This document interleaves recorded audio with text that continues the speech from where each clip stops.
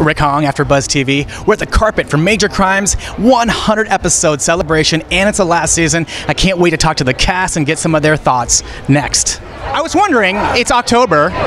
Would you would you actually go dressed up as a, a Handmaid's Tale for Halloween?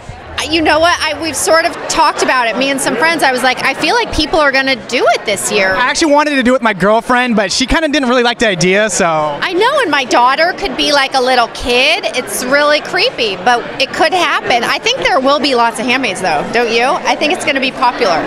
So it's really funny. So it's really funny that I'm, I'm meeting you tonight. I had no idea that I was actually because they re-announced that they're going to do a kung fu television series that I believe your uncle was in. Yes. And so I made a joke and I said, hey, maybe it's going to have Ever Carradine. Be-? Seriously?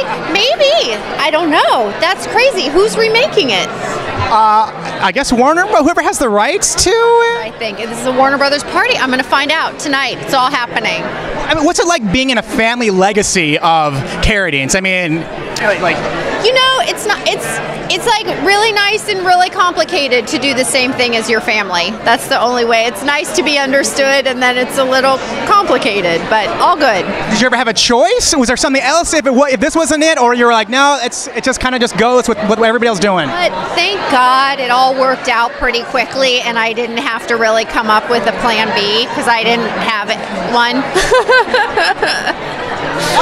That's like, hey, you're successful at this. I mean, so it just worked out that I didn't have to do something else. So that's good. and by the way, I, I want to see you look very pretty tonight. Oh, thank you. Thank you very much. I didn't know there was going to be a whole shebang, but here we are. All Shebang. right, so let me switch gears. So, do you ever think you'd be part of a show that hit 100 episodes? I'm pretty excited about it. Um, I I always thought I would be one a part of a show that did 100 episodes. I just didn't realize it would take so long.